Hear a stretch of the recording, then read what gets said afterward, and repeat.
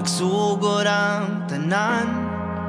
Ugwanan ako na pungan Daw bundak sa wan Huros sa hangin ang kasing-kasing ko.